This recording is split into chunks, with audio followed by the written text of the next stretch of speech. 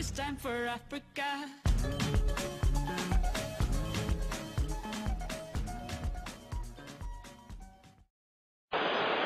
Now Materazzi did what? This is uh, going to give us a bit more of a clue. He said something. He certainly said something. Now what happens? He's saying some more. Well, the pictures tell the story.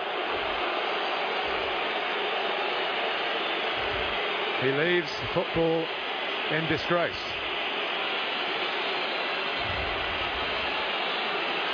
And he leaves his team in big trouble.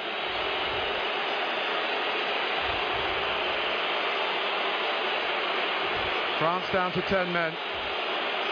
And the showpiece of the world game has an unsavoury moment here.